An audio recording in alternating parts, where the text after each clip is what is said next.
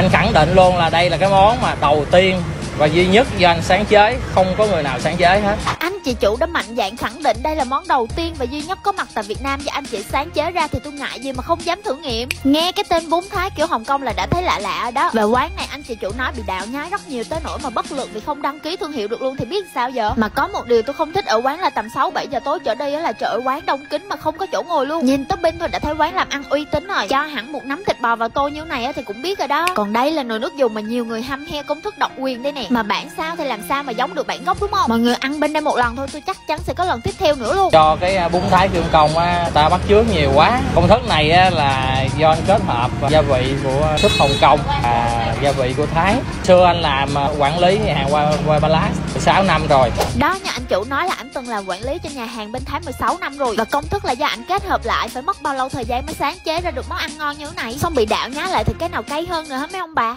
Tôi gọi bốn tô topping khác nhau nha. Nhìn tô nào tôi nấy đều đầy đặn topping mà không thấy bún đâu luôn. Thêm một điểm cộng cho quán chứ hả? Mấy ông bà thích ăn bò nhiều á thì gọi bò tràng tôm nhiều thì gọi tôm tràng. Còn không thì gọi thập cẩm ăn cho đầy đủ vị ngon ha. Nước chấm ở quán cũng rất ngon á, ngoài muối ớt xanh còn có sa tế với nước mắm nữa nè. Và quán cũng có bán các loại nước uống cũng rất ổn áp nha. Về vị thì nước dùng phải nói là siêu đậm đà, vị tôm dum béo béo. Cay nhẹ chứ không hề nồng đâu và có vị chua thanh hòa quyện lại rất ngon luôn. Thịt bò hay hải sản đều chắc và ngọt thịt nói chung là quán này không có gì để tôi phải chê hết, mọi người ghé quán ăn đi đảm bảo ghiền thiệt á.